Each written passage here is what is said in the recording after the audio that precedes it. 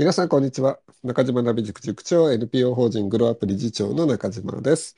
えっと、今回のですね、えー白黒先生との対談は、えー子供に、え、面白すぎて子供に会いたくなる学級経使い、はいまあ、最後と最後、いうことに。したいなと、ファイナルとはいいきたいと思いますが、はい、よろしくお願いします。よろしくお願いしまあ、ます。ファイナルなんで、ちょっと駆け足な感じでいきたいなと思うんですけども、まあ、授業作りはいはいはいはい。からですね、終わるのかっていうのがあります。はい。いや、もうね、授業作り皆さん楽しんでますか？っていうところなんですけど、うんうん。いや、もうでも、もうこの仕事はね、何って言っても、やっぱ授業メインなので、うんもう一日の大半を過ごす授業がね、楽しかった。これね、もうそのね、先生もね、安全基地の話をされてうんやっぱり授業がね、こう、楽しかったりとか、あとはなんだろう、安心して発信できる場であったら、これ学級はすごい安定するなと思います。うんうんうん。まずそこが何においても大事かなってね、う思う。んうん。で、まあそのためにいろいろ書いてるんですけど、ちょっと、もう書き足なんで、もう自分ポイント喋りたいとこじゃあ喋っていいですか？ああ、お願いします、お願いします。はい。えっ、とね、これまあ3番のところに生とどう使いこなすっていう、なんかそんなね、か言葉的にはかっこいいことを書いてるんですけども、うんうんうん。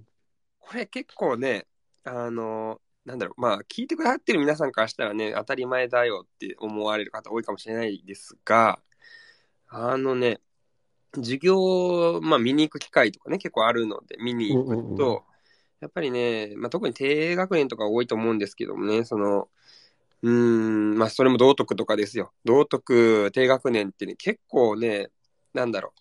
さっき、これね、冒頭のオープニングトークで喋ったんですけど。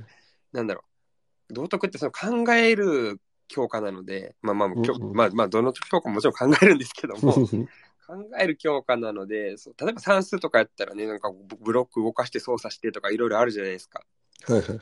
で、道徳っていうのは、なんか意図的にそういう場面作っていかないと、ずっとこう座ってね、あの前向いて、うーんって考える時間になって、まあそれはそれでね、まあ本来それはそれでいいんですけども、やっぱりね、なかなかこう、た特に低学年とかはそうかなと思うんですけど、もうね、だれてくる、だれてきちゃうんですよ、どうしてもね。で、見てたら、やっぱ子供がこう机にこう、うーんって寝そべってくるみたいな感じとか、うんうん。よくあって。で、やっぱそれはなんでかなって言ったら、生と動の中のね、生って、生っていうのは静かっていう字なんですけどね。うんうん静かの部分が多いというか、静かの部分だけでこうやろうとしてる形がね、見られるんですよね。はい。うん。で、そうなってくると子供はやっぱもうね、どうしても飽きてきちゃうので、うん。どんだけその、なんでしょうね。まあ、ここ、まあ、今この本に載せてるので言うと、もう、ちょっと立って、えー動きを入れるとかね。うんうんうん。うん。まあそれこそ、まあ、どっか歩いて行って、こう、友達に考え伝えるとかね。まあ本当にそういうちっちゃいことでいいので、その、どうって動きの部分を入れていかないとなっていう思ってるよって、うんそんな話なんですよ。まあ大事ですよね。あうの、んこれ、今ね、子供は飽きるっていうふうに言われましたけど、大人も同じですから、そう、いや、結構自分そういうタイプで、あの、なんか、そわそわしちゃうんですよね。だから長くなってくると。そうそうそう。あの、だから、えっと、バーッと話をするスタイル。まあ、研修とかでもそうなんですけど、うんうんうん。中島は基本的に、だから本当に道徳授業と同じような流れはいはいは。にないるんですけど、うんうんうん。やっぱり伝えて、うん、その受け身の状態と、性が受け身、うんうんうんうで、ん。動がその能動的な、まあ、その、えっと、話意見を話したりとか、うんうんうんうん。アウトプット、インプットとアウトプットっていう言い方でもいいかなと思ってるんですけど、あ、そうですね。そのバランス、うん。大事ですよね。いや、大事です、大事です、本当に。うん。そう。でね、今、あえてバランスって言葉使ったんですけども、でこれで例えばその、まあ逆に言ったら銅が、まあ多くな、まあおちょっとね、多少多くなるのはいいんですけど、ずっと銅だと今度自分の中でじっくり考える時間なくなっちゃうから、その、ね、ちょっとこう自分でも振り返る時間っていうのはやっぱ、うん、取りたいなっていうのはね、思いとしてあるんですけどね。うんうんうん。うんうんうんうん。そういうバランスは、うーん、まあ、低って今言いましたけど、低中高関わらず持ちたいなと思ってますね。低中高っていうかもう、そうねそう、今大人って言われたように、まあこれ中学でも 高校でも何でも多分ね、今お聞きの皆さんいろんな職種あると思うんですけど、どこでも一緒かなと思ってますね。そうですね。だからそのインプット、アウトプットっていう表現でいけば、うん。あの、例えば校内研修でやるとかもそうで、大人だから聞けるでしょ？みたいな風にして、その前に立つ側が思っちゃうんですよね。うんうんうんうん。で、そっちの方が伝えることができるし、うんうんうんうん。えーいいだろうと思うんですけど、大体そういう人もね、あの、受ける側に曲がるとね、うん。あの、嫌がるんですよね。インプだけ。で別に読みゃいいじゃんみたいなのとか、うんで、何なのみたいになっちゃうので、まあ、何対何がいいかっていうのは、ちょっとその内容にもね、うんうんうん。よるところはあるんですけど、うん。特にそのシェアするみたいなのは意識して組み込みたいですよね。いやー、そうです。そう。だから大人の研修の時もそうですよ。自分も、あの、そう、特に、えっと、なんだ、研究主任っていうのやってるんでね。どうしても硬、なんだろう、話が硬くなりがちなんですよ。うんうんうんうん。うん。で、それで、それこそね、話、こっちがね、話すだけだと、もうやっぱ、しかもね、こう、一日過ごした後での研修だからみんな疲れてるんでね、ちょっと動き、動きっていうか、まあ、それこそアウトプットですけど、大人の場合、まあ、喋ってくださいっていうう、んうんううんん。いっぱい入れていかないとなとは思いますね、思ってますね。あの、本当にそこを意識するだけで全然うん、うん、うん。変わってくるので、うん。まあ、なんかやられてる方は、あそうだよねって思ってもらえばだし、うん、あちょっと弱いかもっていうところがあるんであれば、ぜひ増やしていく。うん、うん、うん、うん。そうすることで結果として成果は、あ学習効率は高まるので、っはい、はい、はい。ていうところですね。そうです、そうはです。い。で、まあまあ、で、そこにまあ、つながるように、なんか、これ、改めて自分の本見ると、なんか、かっこいい言葉を使いたがりがちなんですけども、まあ本ですからね。まあまあ本ですから要約するとね。ちょっとそう、ん。許してもらって、なんか、導入で勝率を上げるとか、ちょっと、はいはいどどの目線で言ってんだろうって、ちょっと今、改めて言うと、かあの、あれですけど、あ、でも、あれだな、なんか、勝率って言葉をあえて使ってんのは、そのね、うん。あの前、昔、その斎藤喜白先生のこう。あの、授業の話とかあって、でも自分結構その、なんだろう、勝負って思ってる部分は 若うん干あって、うんうん。うん。で、その時にやっぱ導入、まあこれね、研修も多分先生も一緒かな思うんですけども、はい導入でこう、ちょっと子供の心をつかめたらね、なんかそのままぐっとこう、中身に入っていけるじゃないですか、こういい感じ。うん。いくらその、まあ生徒同士と、やっぱ、導入で、うわ、そんなことあるのねとか、うわ、それ考えたいなっていうのは、うん、引き出したいですねっていう話なんですよ。うん。そうですね。やっぱ導入はすごい大事なので、はいはい。中島の場合だと意識してるのは、やっぱその注意ですよね。うえっと注意をこちらに向けさせるっていうこと。はいはいはいはい。だから、えっと、あえて動き回ったりとかもあるし、うんうんうんうん。逆に動かなかったりっていう時もあるし、うんうんうんうん。一見すると別の話題から入って、そのアハ体験うん。をしてもらうことによって、こちらに意識を、学ぼうとする意欲を高めるっていうのかな。うんうんうんうん。そういうふうにだんだんとこう上げていくっていうのがありますよね。そうそうそうそう。そうですね。そうですそうです。で、その、まあ、あれですね、ここでは、まあいろいろと自分の、このね、だからそのちょっと一見なんか関係なさそうな雑談から入ったりとかして、うんで、まあ、なんだろうな。こう、あ、もう、いかにもザ授業だとちょっと身構えてしまう子供も、あ、なんか雑談始まったな、みたいな感じで聞いてって、で、聞いてたら、その、いや、これがさ、とか言って写真ピョンって出して、これを貸したんだけどさ、とか、これ家にあるんだけどさ、とか言いながらそれが繋がっていくっていうね、ちょっと自分の中では、まあそんなのなんうん毎回そうできるかって言ったらぜ絶対できないんですけども、うん、その、身近なところからつなげていくっていう意味ではね、そういうのは理想的かなと思ってるんですけどね。うん。だからまあそこだとね、どうしてもそのある種の、ある程度のというか、その授業理解っうんうんていうところが必要になって、それを日常に落とし込んでって、うん。うん。いや、これもこうなんだよね、とか、じゃあこれってこうなってんだよ、じゃあそれについてやっていこうか、みたいな、その流れとしてね、うんうんうん導入としての一見すると雑談風なうん。うん。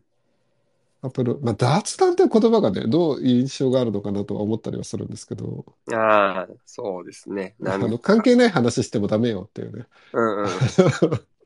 オオープニングトークと言うべきか、なんて言うべきかわかんないですけど、なんかそういうかイメージ。フリーみたいな感じがありますよね。ああ、そうですね。あ、そうですよ。その今ね、今、振りって言ってくださったじゃないですか。はいはい。なんか、その、ある、ある種の、えっ、と、なんて言ったらいいのかな？漫才、漫才か？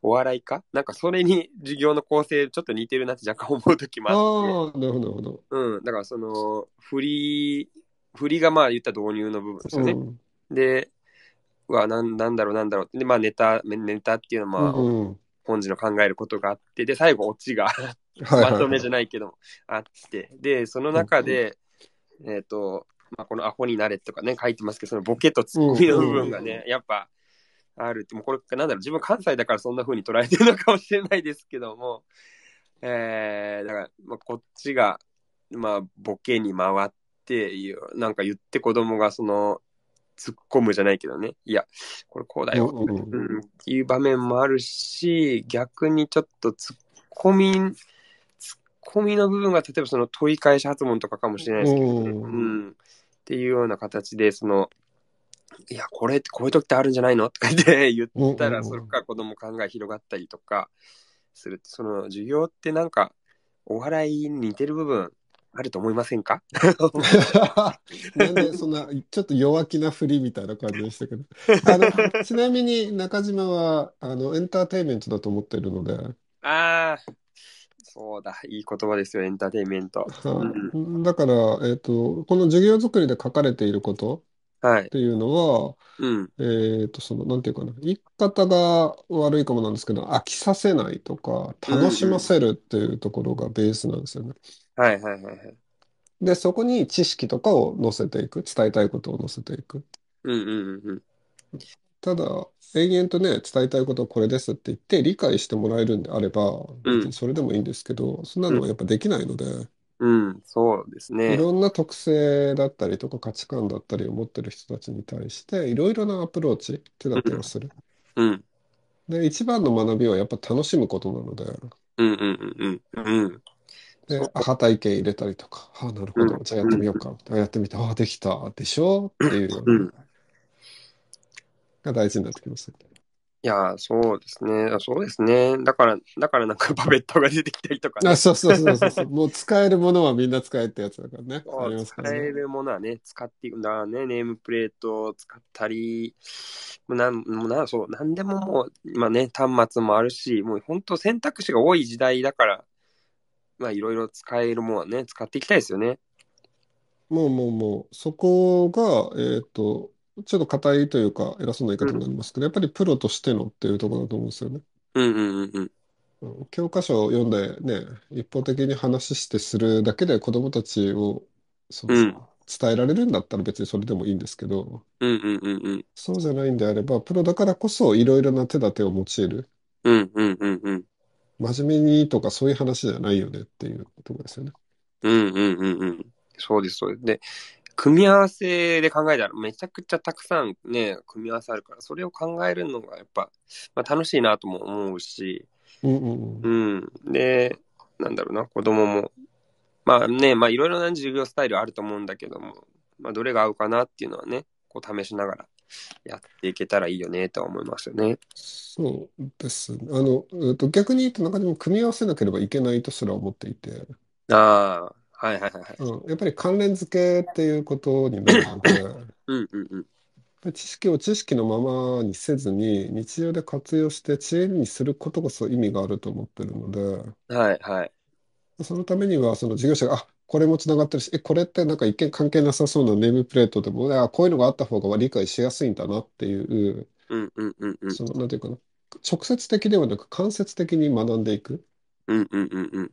そうすることで、じゃあその子が前に立って何かを伝えようとかうんしたときに手立てが増えるわけですよね。うんうんうんうん。あ、授業の時あれ使ってたから俺も使ってみようみたいな。例えばですけど。うんうんうんうん。だからこそいろいろやるっていうのは大事だなと思ってます。はい。そうですよ。しかもね、ちょうど次新年度になるからいろいろ試していただいて。うん。そうそうそう。ぜひその時はね、あの、なんだろうな。授業者の立場ではなく、うん。子供の立場でうんうんうん。考えてもらいたいですよね。ああ、そうですね。そうそうそうそう。それめちゃくちゃ大事ですよ。うん。うん。どうしてもね、そうそうそうそあの 素晴らしい先生の実践みたいなやつとか本読んだりとかすると、う。うん。どちらかというとね、その授業者目線で書かれているので、うんうんうんうん。じゃあ果たしてそれが子供たち、もちろんね、新しい学年なんて分かんないでしょうから、うんうんうん。学年って子供たちがね。うん。けど今までのね、経験とかを同意すればイメージしやすいだろうし、合わなくてもよより近づけることができるよなっていうのはうんうんうんうん。ありますよね。そうですね。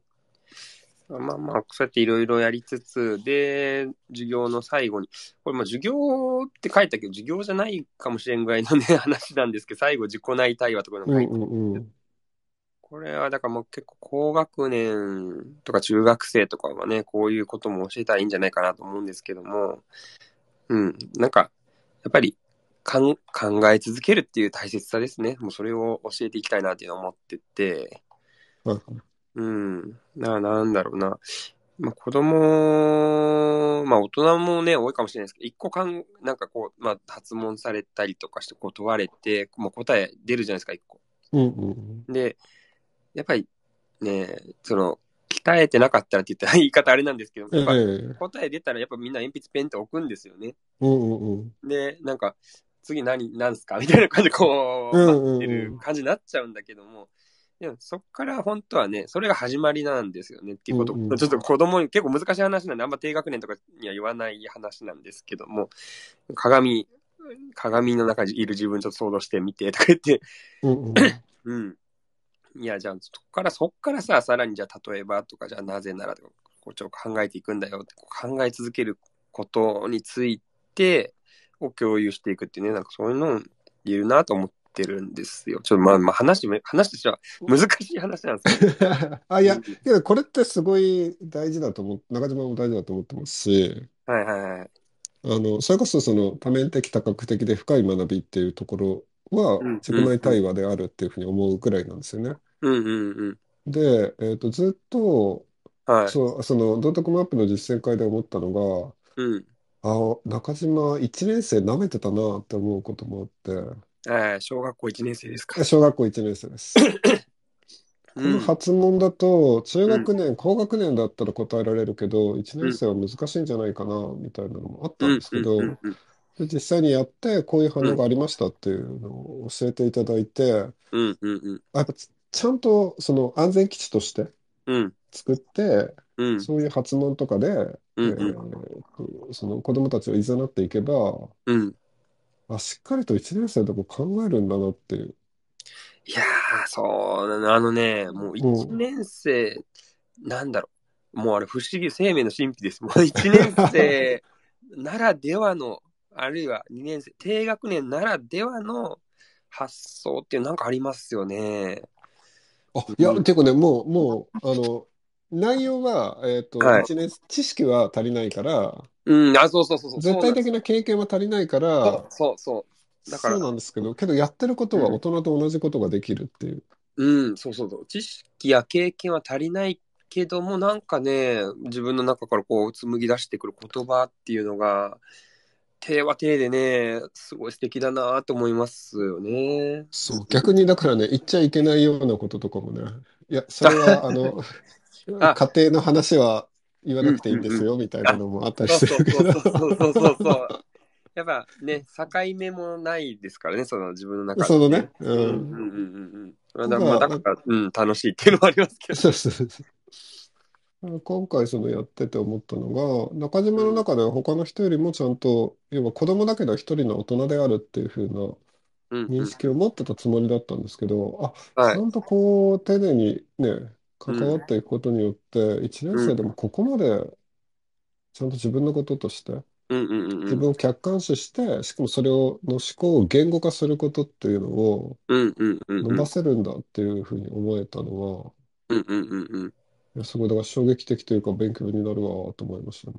ああ、そうです、そうです。だからね、そうそうそうそう。なんか、そう。だからそれがあって、なんか、なんだろうな。もちろんその実態を見極めるっていうのは大事なんですけども、うんうんうん。なんかあまりこう、だから、手だから、これ、ここまでしかできないよねって、なんかだんだんだんだんこう押さえつける形で やるよりかは、うん、どうやったら引っ張り出せるかなとか考えた方が面白いなとは思いますね。そうですね。やっぱりどっかでストレッチするっていう言い方を使うんですけど、うん。やっぱりその伸ばすというかね、うんうんうんうん。ちょっと頑張ってみる。で、もちろんそれでこぼれる子とかもいるかもしれないんですけど、うんうんうんうん。そこでやめちゃったらね、うんそれ以上伸びないので、うんうんうんうん。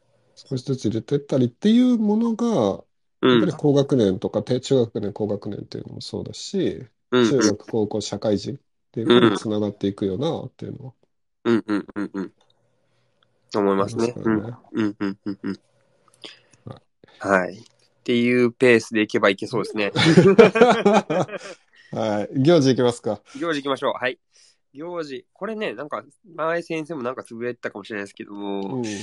どうやってやるかとか、もう、もうそまあ、それも大事なんだけど、なぜやるかっていうのをね、もう一度やっぱ見直していこうぜっていうのを、声、これ声大にして 言いたいんですけども、はいあの、やっぱり我々ね、忙しいので、うーんっていうのと、あと毎年やっぱ同じね、一年の流れとしてはほぼ同じ流れで来てるので、うんうんうん。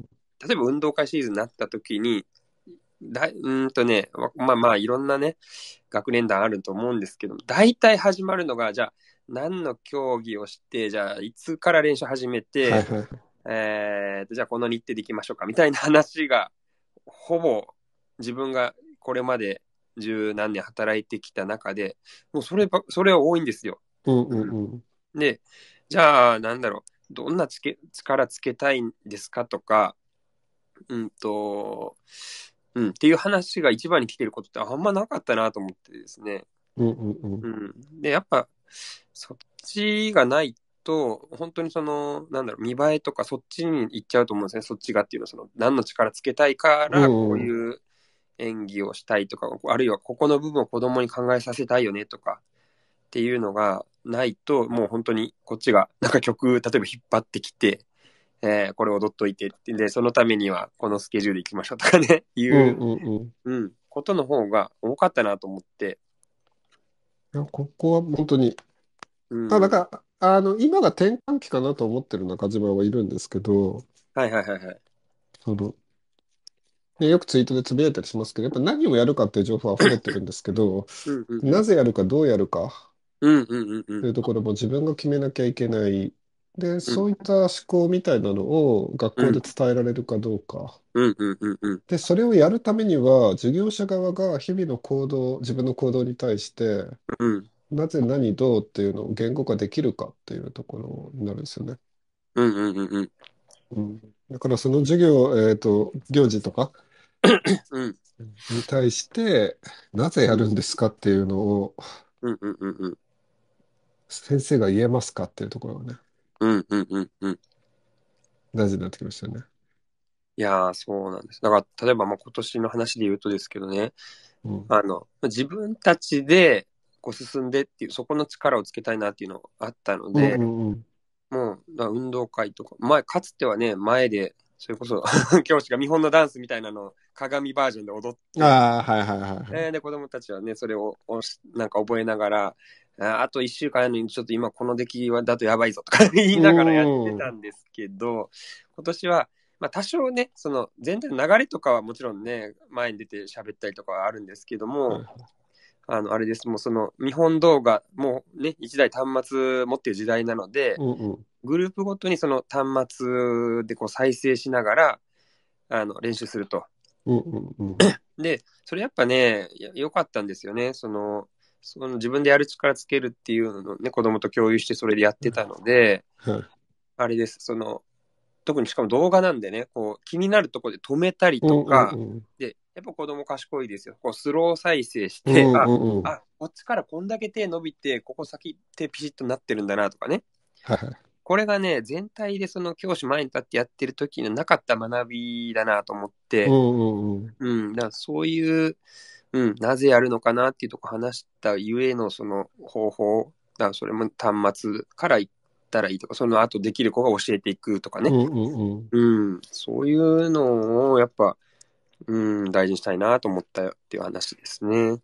なんかこれから特に必要になっていく力だなっていうふうに思っていて、はいはいはいはい。あの、よくあるんですけど、なんか指示待ち人間みたいなああ、そうそうそうそう。言い方あるんですけど、けどうん作ってるのはその授業者というかね、他人とか先生だったりしますよっていうのは、うんうんあうん。の、家庭でもそうだし、保はい育園とかその未就学の時とかでもそうだし、例えば社会人とかになってもそうなんですけど、うんうんうんうん。やっぱり、あの、与え続ければそれは待つよねっていう。うん、ああ、そうなんですよね。だからそうやってね、そうしちゃってしまってる 学校教育があったりしますからね。まあ、ちなみに、そっちの方が楽ですからね。ああ、そう、楽です。やれって言って、やれてなかったらなんでやれてねえんだって言って。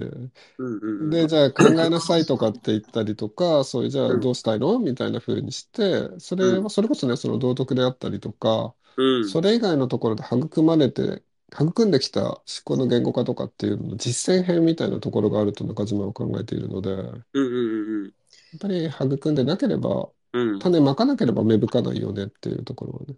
うんうんうんうん。そうです、そうです。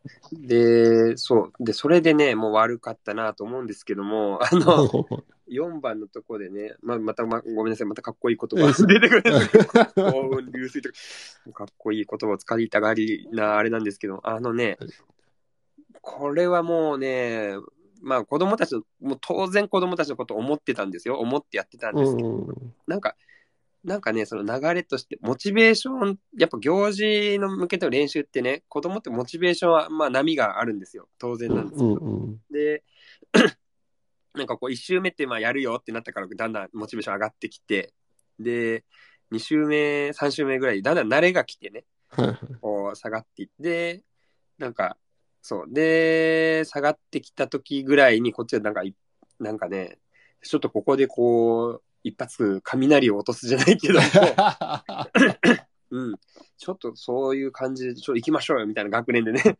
で、うんうんで、最後、こう褒めて、なんか気持ち上げていきましょうよ、みたいな、なんかそういう会話をよくされてたんですよ、自分の。はいはいはいはいはい。ね。まあ、そういうストーリーみたいなのがあって、まあ、それはそれで確かに、なんだろう、子供のことを、まあ、思ってたし、ね、まあ、そうやってやってたんですけども、でもよくよく考えると、それこそ、そういう子ばっかりじゃないじゃないですか。もう当然、その、ずっとモチベーション保ってくれてた子もいたし、うんうん。だから、なんだろうな、あそこで絶対カツを入れようとかってこう決めてやってたんですけどね、その長くって。はいはいはいでもやっぱ、もう今、今の時代そうじゃないよと。いうことをすごく最近思うようになって、うんうんうんうん。それこそさっきの、なぜやるかっていうのとかが、まあしっかりこう浸透してたら、もう子供、なんだろうな、自分でそのね、動画見ながらやっていくことかって、そんななんかモチベーション下がってないかってするのに、そこでなんか入れたりするの変なんですよね、話としてはね。うんうんうんうんうん。だからやっぱ自然な流れで見極めて、こう励ましていく方が、うん、いいよねっていうのはそんな話なんです。いや、すごい大事ですよね。その、うんとこっち側の価値観をアップデートしないといけないよねっていう話だと思うんですけど、はいはいはい。あの、指導法っていうのではね、まあまあ、あるある、まあ部活とか体育会系とかいろんな言い方ありますけど、はいはい。それよりも自分がやられてそれでやる気出んのかっていうところを中島は問いたいっていう。うん、そうですね。もう、もうすごい反省反省しながら聞いてます。だって今、それこそその、うんとどう子供の安全基地になるかっていうところで、新しいフレームワーク、積み木メソッドっていうのをうん。考えて、そのまま、この前の講演会とかでもお話しさせていただいたんですけど、うんうん基本的にやることは2つ、積むか支えるかのどっちかっていう考えで、うんうんうん積むっていうのはまあ教えるとか、まあその勝つっていうのも積む側になるし、うんうんうん支えるっていうのは、えーと、甘やかすとかではなくて、その寄り添う、話を聞くとか、うんうんうんうんそういうのでいくと、誰もが、あの、落ちた時には寄り添われたいんですよね。うんうんうんうん失敗した時に管理職からカツ入れられてやる気出ますかって。出ないですね。それよりも失敗した時にどうしたっていうふうに話聞いてもらって、うんうんうんある種のその言い訳、いうのをわーって話して、ああ、なるほど、なるほど、そうだね、大変だね、みたいな風に言われて、いや、絶対そっちの方がいいな。が、でしょっていう。いやだからやっぱね、そう支えることの大事さっていうのを今、中島も伝えているところなので、うんうんうんうん。甘いぐらい、うん甘やかされたぐらいで、うんうんうんうん。ちょうどいいっていうのはね。うんうんうんうん。あの、ただ、このね、時間を守ることであったりとか、うんうんうんうん。ちゃんとやらなければいけないことっていうのはもちろんあるわけですけど、うんうんうんうん。そうです。例えば時間が遅れたっていうのはもしかしたらその子には何か特別な理由があるかもしれないし、あ、そうですね。だからそういうところですよ。うん。過去の自分に 言いたくなるあれなんですけど、そうそうそうそう。なんかね、だから引っ張っていかなっていう思いが多分強かったんですよね。うん。そうそうそう。あの、さっき言ったね、あの、一年生舐めてましたみたいなのと同じで、そうだ、それですよ。うん。やっぱり、自分が引っ張らなければできないだろうっていうのが実は前提にあったり、根底にね、うんうんうん、あったりすると、やっぱりその子供たちを信じきれなかったりとか、委ねることうんうんうんに不安感とかうんうんうんうん。あったりすれば起きやすくなるかなっていうのはね。うん。そうです、そうです。で、まあ、それがね、6番、なんか、うん大切大切にするとか、そこにもつながってくるなと思ってるんですけども、うんうん。まあ、なんでしょうね、その行事とかもやっぱ何ができるかなとかっていうところから、子供たちと一緒に、うん、考えたいなと思ってて、うんうんうん。で、これもね、もう、なんだろうな。この、出来レース的なやつじゃなくて、本当に真剣に考えたら、誰もやったことないけど、もしかしてできるかな、とかっていうのは結構あるなと思って。うんうんうんで、しかもね、今この時代、まあ、だいぶ終わり見えかかってきてますけど、そのコロナでね。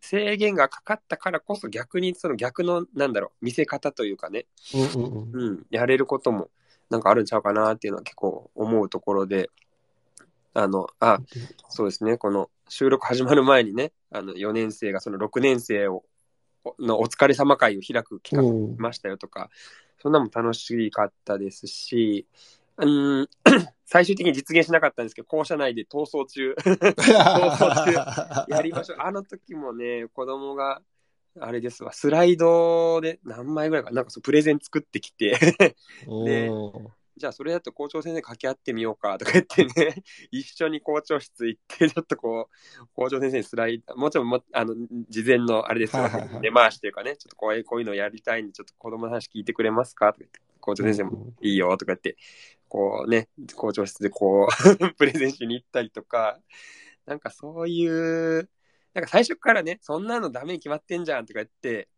あの、こっちが跳ねのけちゃうことも、まあできるんですけど、うん。それしちゃうと子供やっぱもう、あ、なんか、なんだろうな、次に繋がらないじゃないですか。うんうんうんうん。やっぱ大人の言う通りやらなんだってなっちゃうので、うん、なんかできるかどうかもふ含めて、こう真剣にこう、みんなで話し合ったりとかする機会とかっていうのはね、どんどん作っていきたいなと思いますね。素晴らしいと思います。素晴らしいと思うやっぱ本当にやっぱそういう力が今求められてる。うんうんうん。やっぱりそのルールを守るっていうことと、やっぱりルールを変えていくとか、あとうんうん中島が一番大事だと思ってるのが、ルールの使い方だと思っていて、はいはいはいはい。うん。なんかそういうふうにして自分でね、その切り開いていくっていうことうんうんうんうん。をやっていかないと、うんやっぱりその、うーんと誰かのルールの上だったらね、まあ、うまくいかないこともいっぱいあるので、うんうんうんどん主体性高めていってもらいたいよな、と。うんうんうん。そうなんですよね。だから実はできることとかっていうのは結構ね、あるんじゃないかなと思ってて。うん。というと、ああ、だからなんかそのね、一つの会の中でも、なんだろうな、子供に任せると、な子供って、だからさっきね、1年生の話もありましたけど、ちょっと、なんだろう、例えばまあ、簡単な話、BGM つけてみようよとかね、ほんとそんな簡単な話だと、子。供に言わせたら、アイデアいっぱい出てくるわけですよね。で、その、これ授業も一緒なんですけどね、結うん局、大人一人で考えるよりも子供30人で考えた方が、そのアイデアは本当はいっぱい出るんですよね。うんうんうんうん。もちろん大人は大人なりの視点でのアイデアは出ますけどね。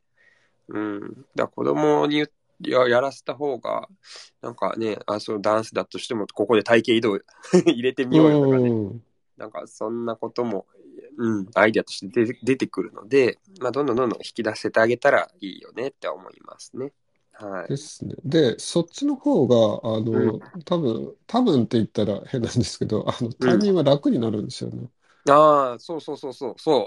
本当は結ね、局、うん、あの、そうん。主体性育んだ方が、あの、うん。要は自立、自分を律する気持ちとかっていうのが高まっていくので、うんうんうんうん。で、しかもその他者視点、自分がどう見られるのかっていうところとか、うんうんうんうん。思考力は高めておかないと、それこそそういう、あうの、ん。やらかし動画アップしたりみたいな話になっち ねえ、悲しいですは、ね。そう、まあね、自己顕示欲とか、うん。まあいろんな言い方はできるんですけど、うんうんうんうん。一つは、やっぱりそういった自分の言動っていうのがどういうふうに相手、他の人に対しての影響を与えるかうんうんうんうん。っていうことが育まれてなかったなっていう。だから、そうの、ん。いいですよね。校長に直談判とかね。うん。いやー、思い返すとね、いろいろ面白い、面白かったですけどね。だから、本当ね、いろんな企画が出て、なんかね、そう、カラオケ大会し、しましょうとかね。うん。いろんな企画が出てくるんですよね。面白いんですよね、そういうのはね。だから、そこでね、ルールを決めるのは、うん。その、谷側だと思っていて、うんうんうんうん。これはいいけど、これはダメっていう話よりは、はい。えっと、こういうのをやりましょうって言って、この中の範囲でねって言って、その範囲うん。を自由にさせる。ああ、そうそうそうそう。それはめちゃめちゃ大事ですね。その学校の、うーんと、なんだろう、大枠のね、そうそうそうそうからね、はみ出ちゃうと、あのクラス何してんだよ、みたいなね、感じになっちゃうし、あのね、結局、あ、いいアイデアが出たとしても、そうん。の枠組みから外れていれば、やっぱり許可は出ないので、そうそう。だから筋を通すっていうのはってね、いうのをね、そううん、そう、う、そこは大事事。にしているところですね。で、可能な限り、まあ、その中島手のひらとか言いますけど。手のひらは大きくしておきたいよねっていう。ああ、そうですね。あの、あれですね、お釈迦様のあの話と似てるそうそうそうそうそうそ。そううそう。手のひらにいること気づかせないぐらいね。う。うんん。前、安井先生と話した時は、その柵って大事だよねっていう。あけど、あ、はいはい。子供たちが気づかないぐらい遠くに置きたいよねっていう。ああ、いい例えですね。そうそうそうそうそう。フリーダムにしちゃうとね、あの、うん、誰にとってもいいことはないし、みんなで考えて出来上がったものが、うん、ね、あの、自分はダメって言わずに校長にダメって言ってもらおうっていうの、まあ一つのアプローチとしてはあるんですけど、うん、うん、うんうん。そんなんだとね、子供のやる気の方がそげちゃったりとか、え、じゃあ最初に言ってよ、みたいなのになったりするんで。うん、うん、うん、うん。そうです、そうです。ね。うん。はい。とはい。いうことですが、まあ、はい。まあ導入がちょっと時間かかってしまったので、まあちょうど、えっとですね、うん。えー最後保護者との関係づくりとはい。まとめが残ったので、まはい、はい。あそれは次にやるのでちょうどいいかなって思っており。あ、ありがとうございます。いい感じで。うん年度頭にね、はい。年度頭にね。ね、学級経営の土台との一つとしてはね、やっぱり保護者との関係づくりは避けられませんし、まあここも入ってるのもさすがだなと思いますよね。いやーありがとうございます。ね、そこはやっぱ学級経営の中にね、やっぱ直接関係してくるとこですからね。うん。そうですね。まあここら辺は、あの、いろいろと、いろいろなことがあるのでね、はい、はい。はい。えっと、来週ファイナルにはならなかったので、まファたイナル？次回2。もファイナル2っていう。終わるファイナル終わる詐欺だなみたいな感じがありますけども、はい、そんなはい。感じでいきたいと思います。はい。えっと、ではじゃあ、白黒先生から一言いただいて終わりにしたいと思います。はい。いやー、またこのね、まとめのシーズンにね、授業の話と、あのね、今、行事の話とできてよかったなと思います。ただ、どっちも思い返せばやっぱ、今、今の時代ね、よく言われることではあるんですけども、主体性っていうかね、そこを伸ばしていきたいし、そこを引き出すような形でやっていけたらなと、改めて思ったよっていうような話でございました。ありがとうございます。えーではですね、今回の動画これで終わりにします。ぜひ動画高評価、いいねボタンを押していただくと励みになりますので、よろしくお願いします。ご視聴ありがとうございました。ありがとうございました。